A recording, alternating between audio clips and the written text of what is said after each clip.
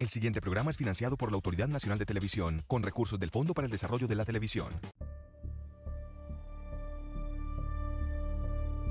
Para que compartamos a esa hora a través de los 107.4 Morena y Serio, una mañana bastante el sol radiante en nuestro municipio.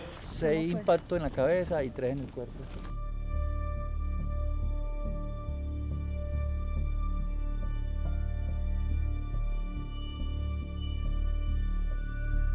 Le quitan el esquema, le dicen que para esa nueva eh, amenaza le tienen que hacer un nuevo estudio, pero que se vaya tranquilo, que en unos 15 días le, mandaban la respuesta.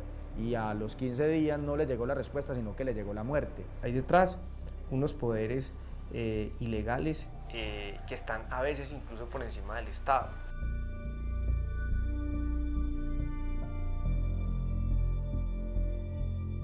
Salite del pueblo, ¿para qué te vas a quedar allá si allá te pueden asesinar, te pueden desaparecer, te pueden matar. Uno que le responde a los campesinos y campesinas cuando les llegan la información, o el mismo periodista ya la tiene porque él la investigó, ¿uno qué hace?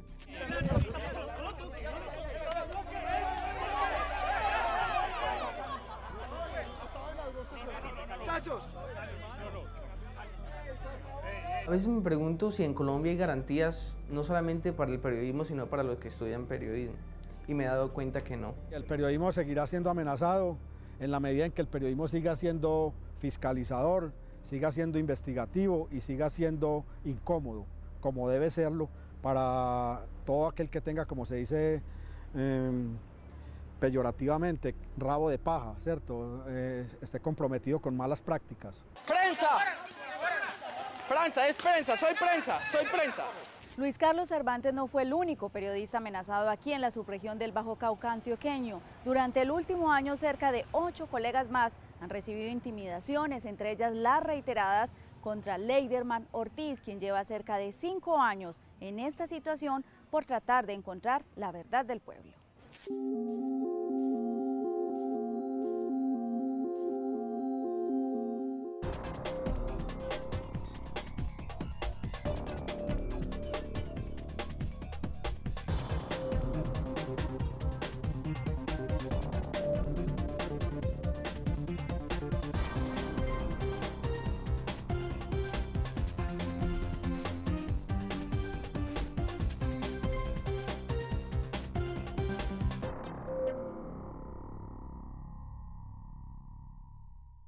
Yo nunca, cuando hago las investigaciones, nunca me ha dado miedo. Yo he sentido temores cuando me han pasado las cosas. En este capítulo, Infrarrojo busca hacer un análisis de la situación de los periodistas, en especial de quienes ejercen su labor en la subregión del Bajo Cauca y en general en Antioquia. Nosotros cumplimos con la labor de informar para que toda la comunidad se entere de lo que sucede en su contexto. Nos armamos de grabadoras, de cámaras de video, de celulares, con el solo interés de brindar información útil. Esta clase de llamados de atención son constantes, son las voces de auxilio de quienes se enfrentan a lo que ellos consideran diferentes poderes en su contra, el Estado, los grupos armados ilegales y en general la ilegalidad que reina en algunos espacios en donde definitivamente se sienten solos.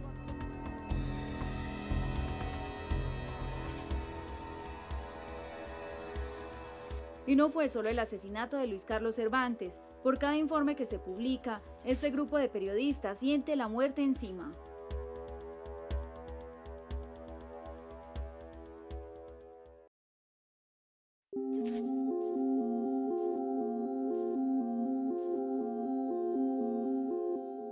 El periodismo está amenazado y quienes lo ejercen dicen que no hay condiciones plenas.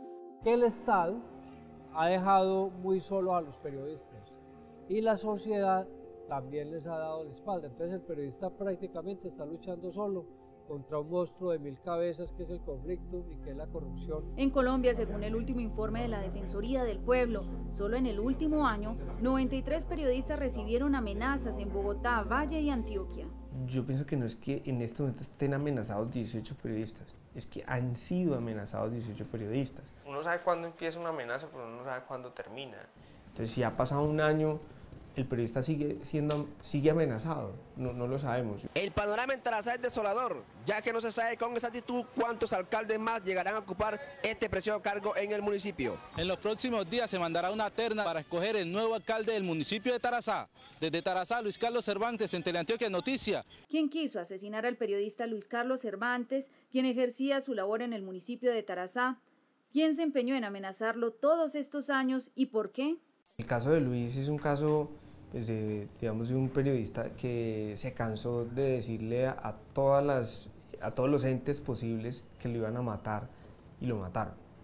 O sea, yo, yo fui testigo y yo creo que la, la, Asociación de Periodismo de Antioquia y FECOLPER, que es la Federación Colombiana de Periodistas, eh, que tocó puertas a la FLIP, que tocó puertas en la Fiscalía, en la Procuraduría, en la Alcaldía de Medellín, en la Gobernación, en todos lados. Las amenazas dejaron de serlo cuando en el mes de agosto, a las 2 y 15 de la tarde, en el barrio Eduardo Correa de Tarazá, acabaron con la vida de uno de los periodistas más amenazados del país. No contar con su esquema de seguridad facilitó esta tarea tras 20 días de tomada la decisión por parte de la Unidad Nacional de Protección, desde donde se justificó que este ser humano no estaba ejerciendo su actividad, sino que se dedicó a ser el director de una emisora musical, de Morena Estéreo. Hubo una, una, situación que se registró más o menos 15 eh, días antes al asesinato de Luis Carlos, y es que él me llama y me dice, hermano, me volvieron a amenazar, eh, eso me tiene muy preocupado, y yo de una manera casi que jocosa le digo, bueno, ¿y qué diferencia tiene esta amenaza con las otras 30 que te han hecho en los últimos cuatro años? Entonces él me dijo, hermano, hay una diferencia, y es que yo a esta sí le creo.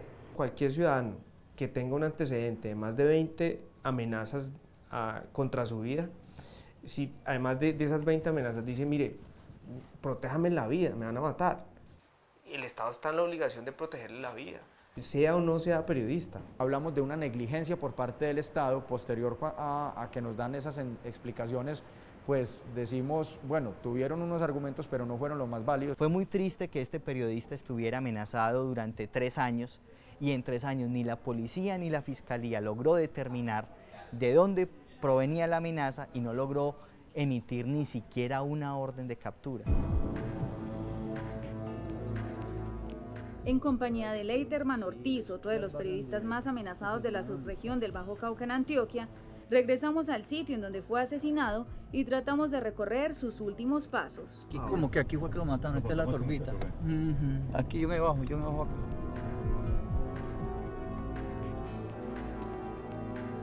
Pero él cuando vino hizo el primer trasteo. Y cuando ya de regreso, ahí cuando lo... Y el que iba, eh, iba manejando la moto, le dijeron, ese Y él salió corriendo y cuando le dieron. Luis Carlos Cervantes regresó a Tarazá porque además de la necesidad de ver a su familia, quiso liderar una marcha. Al parecer fue una de los objetivos de esa marcha era por la, por la memoria de, Miguel, eh, de, de Reinaldo Pozo, el exalcalde que mataron en abril. Luis Carlos Cervantes y Reinaldo Pozo eran muy buenos amigos y quizás comulgaban las mismas ideas políticas. Juntos, además, lideraban la emisora Morena Estéreo, desde donde no solo emitían programación musical, sino información política, de análisis con resultados así. En dos años y ocho meses, Tarazá ha tenido al menos cinco alcaldes, desde que fue investigado el titular Miguel Ángel Gómez, por los delitos de concierto para delinquir, constreñimiento y supuesto vínculo con paramilitares. El alcalde había hablado en la emisora dando el informe de gestión, del cual conservo esa grabación, donde él hablaba y trataba mal el exalcalde de esa época, que Miguel Ángel Gómez, lo trataba de pícaro, de ladrón, que era uno de los, de los concejadores de las, de las AUC y todo eso. Situación que era muy preocupante, que a raíz de esa entrevista que Cervantes habló, a los cuatro días matan al exalcalde eh, Reinaldo Pozo, ya que era el asesor del alcalde actual. Corresponderá a las autoridades hilar esta hipótesis y realizar las aclaraciones pertinentes. Sin embargo, Infrarrojo llegó hasta la emisora Morena Estéreo para conocer su estado actual y quizás encontrar una respuesta.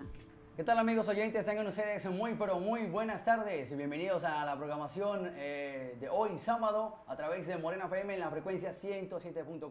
La emisora funciona, pero no está ni Luis Carlos Cervantes ni su amigo Reinaldo Pozo.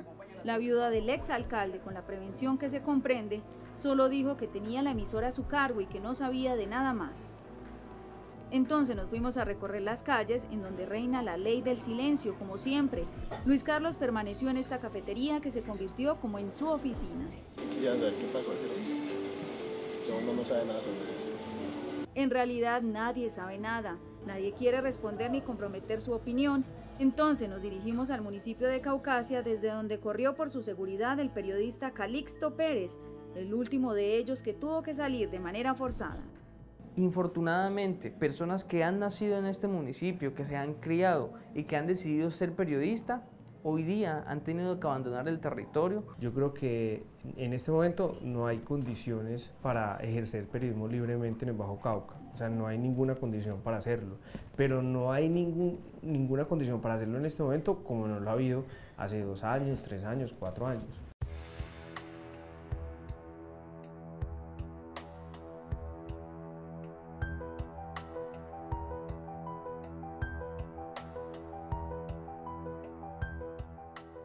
Anteriormente el medio como tal, los canales comunitarios, sobre, todo también las emisoras comunitarias se dedicaban solamente a, a poner música.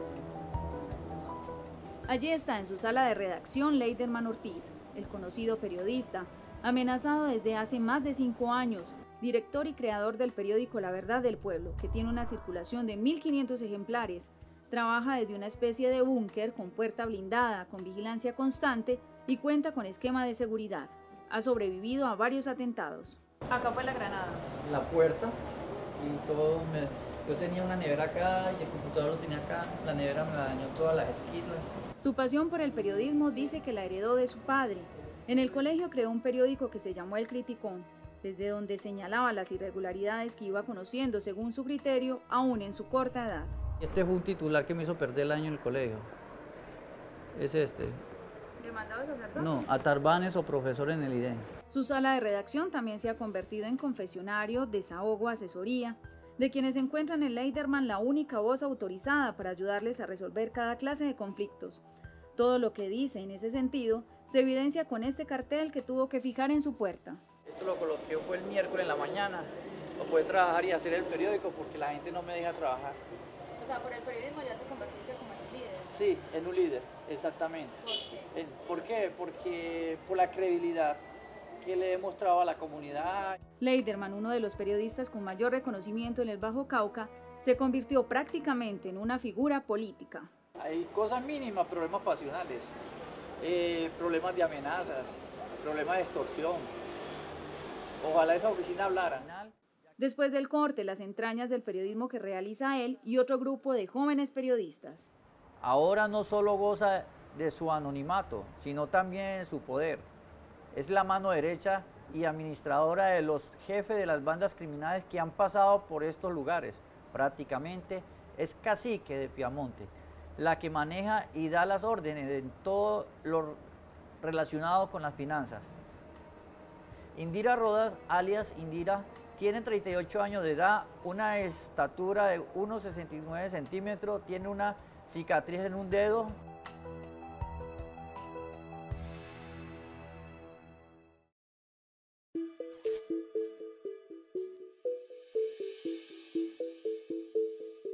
En el Bajo Cauca, ocho periodistas recibieron amenazas en el último año. ¿Qué es lo que está pasando? ¿Cómo están realizando los cubrimientos periodísticos? ¿Qué temáticas cubren? Estamos con el periodista Leiderman Ortiz, amenazado desde hace cinco años. Por su estilo, carisma y por su forma de hacer periodismo, es un referente en la subregión y en el municipio de Caucasia. Yo cuando me pongo a escribir acá, yo leo, repaso y vuelvo y, yo, mismo, yo mismo hago así como que yo... Se refiere a su último trabajo, el que le tardó dos meses en investigar para salir ante la opinión pública, primero que la autoridad, con esta clase de señalamientos. Indira, la mujer clave de las Bacrines en Piamonte, la vueltera. Esta es la eh, denominación que tendrá la mujer encargada de hacer las vueltas y mandado de, los jefes que han pasado en generación en generación en Piamonte, escondiéndose con la fachada de tener una granja de venta de animales con aves, porcino y, y piscicultura.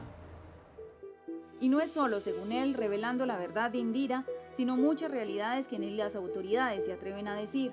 Un periodismo empírico y para el parecer de muchos, inocente, solitario, arriesgado. Para él sin ningún interés y sin recibir mayor remuneración, pues vende su periódico a mil pesos, si es que lo puede sacar, cada dos o tres meses. Este muchacho que yo te decía, lo saqué, tenía año y medio extorsionando, le cogieron al, al sobrino y el sobrino se expresó para cantar y nada, no hacía nada. Y la gente, el desespero, conseguí la foto y lo publiqué, porque la policía no hacía nada porque no tenía ni antecedentes y no había denuncia. Después que lo publiqué, eso fue en diciembre, ahí se fue, le dañé la Navidad, recogió maleta y se fue. A los 15 días apareció la orden de captura, ¿ya? Y resulta que apareció la orden de captura y se fue y todo. Y resulta que este mismo es el que voy a sacar aquí, el que tú tienes, este, es este. Ah, que ¿lo se- asesinaron? Sí, lo la misma organización lo asesinó. Leiderman llegó al punto de investigar a 20 presuntos delincuentes y ubicarlos en un afiche de los más buscados. Todo esto con el apoyo de los ciudadanos.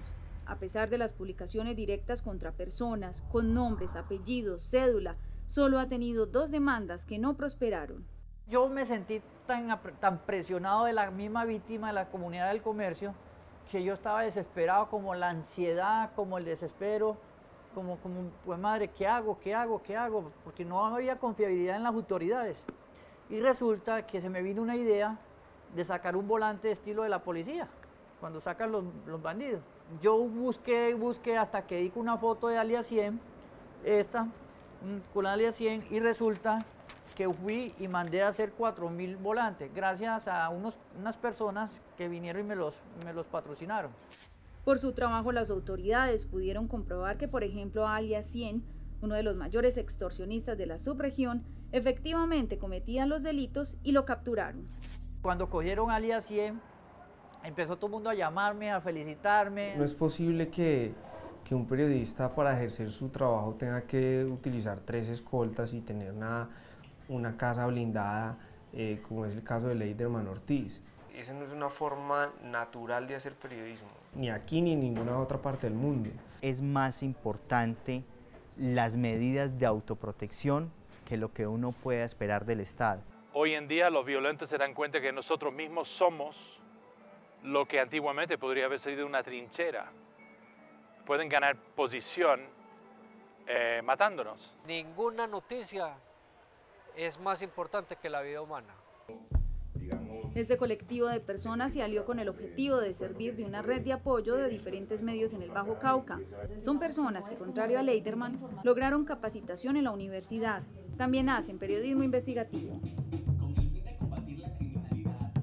Trabajan en emisoras, con periódicos y en especial para Bajo Cauca Noticias. Hay muchos actores aquí implicados en lo de las amenazas de los periodistas. Por un lado está el actor ilegal, por un lado también está el actor legal que se camufla dentro de lo legal para intimidar a los periodistas. Y uno encuentra también entre las mismas autoridades una limitante. Nosotros estamos ejerciendo un periodismo responsable. Informamos lo que realmente está sucediendo en la zona. Nunca hemos manejado un periodismo amarillista ni de supuestos. Hacemos un periodismo investigativo. Lo que pasa con el periodismo directamente en el Bajo Cauca es porque a- anteriormente había una ausencia de verdad.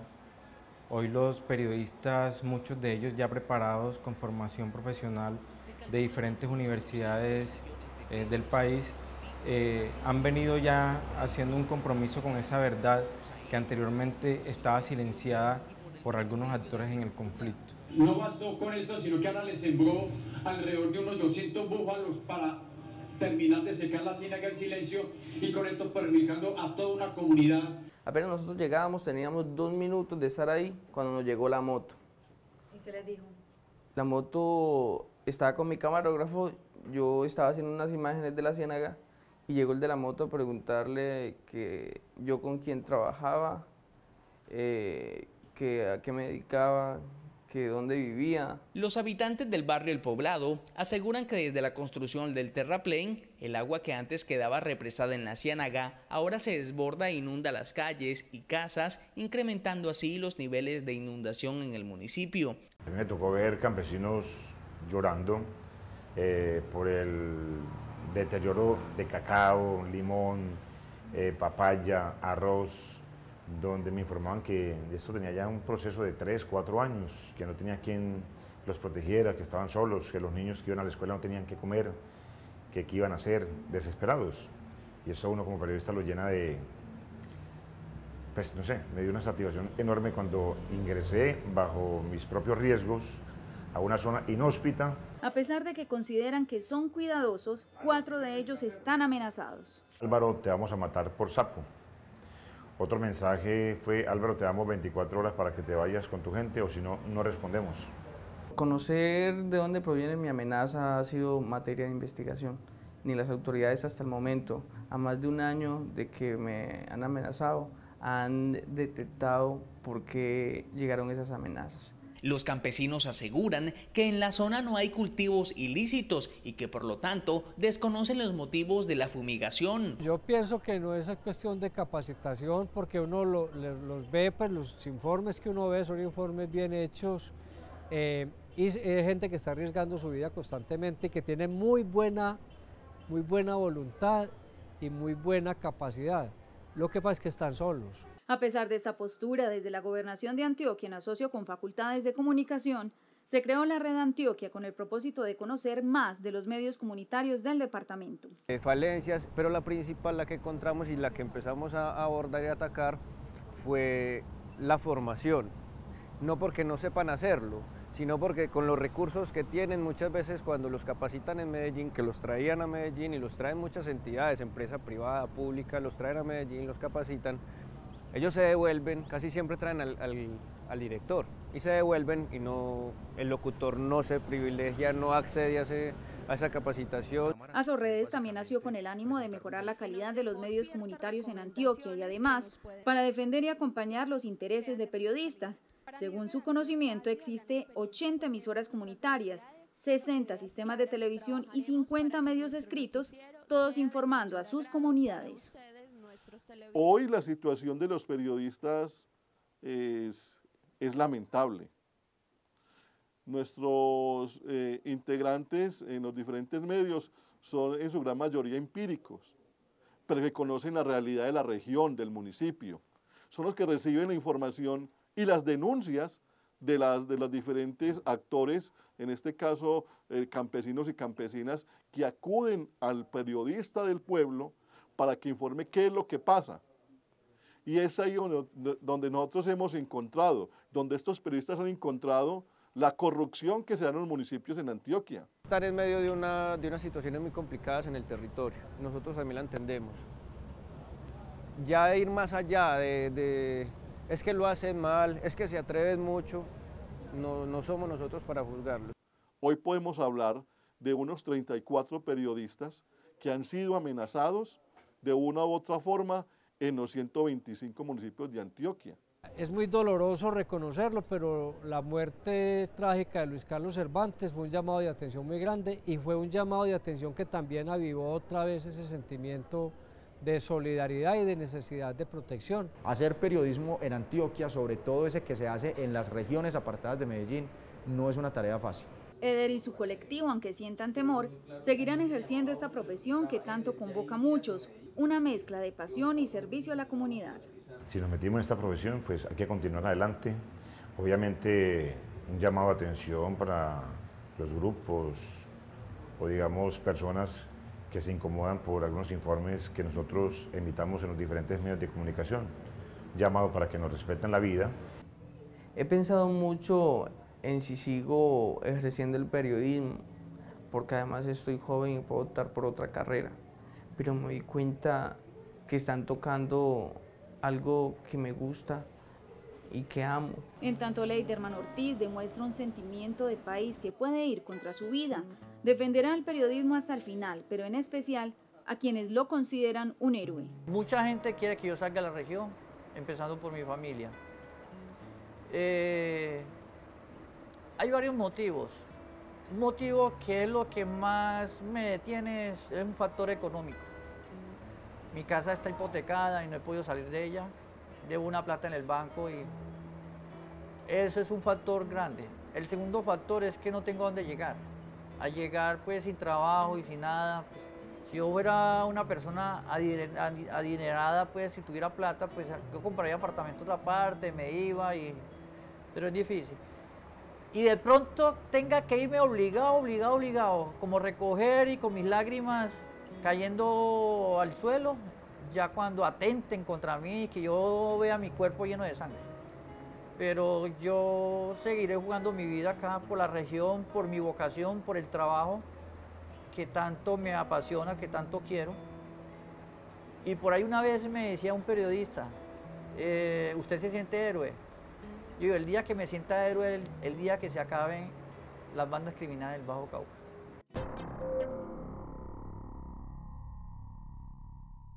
El anterior programa fue financiado por la Autoridad Nacional de Televisión con recursos del Fondo para el Desarrollo de la Televisión.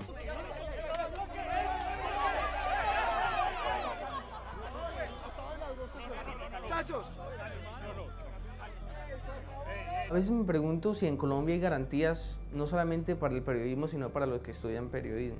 Y me he dado cuenta que no. El periodismo seguirá siendo amenazado en la medida en que el periodismo siga siendo fiscalizador, siga siendo investigativo y siga siendo incómodo, como debe serlo para todo aquel que tenga, como se dice em, peyorativamente, rabo de paja, ¿cierto? Eh, esté comprometido con malas prácticas. 15 días le, le mandaban la respuesta y a los 15 días no le llegó la respuesta, sino que le llegó la muerte. Hay detrás unos poderes eh, ilegales eh, que están a veces incluso por encima del Estado.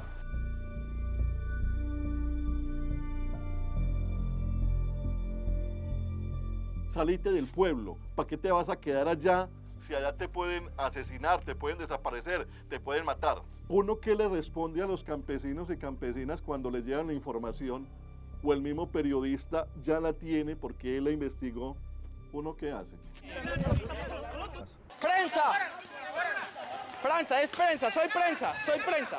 Luis Carlos Cervantes no fue el único periodista amenazado aquí en la subregión del Bajo Cauca antioqueño. Durante el último año, cerca de ocho colegas más han recibido intimidaciones, entre ellas las reiteradas contra Leiderman Ortiz, quien lleva cerca de cinco años en esta situación por tratar de encontrar la verdad del pueblo.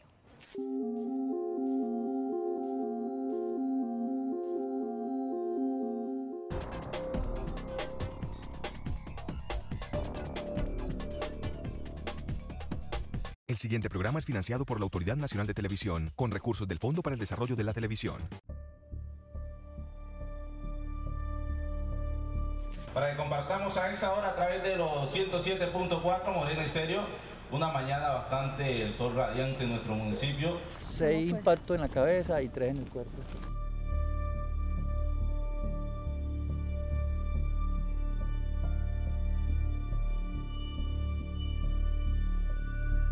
Le quitan el esquema, le dicen que para esa nueva eh, amenaza le tienen que hacer un nuevo estudio, pero que se vaya tranquilo, que en unos...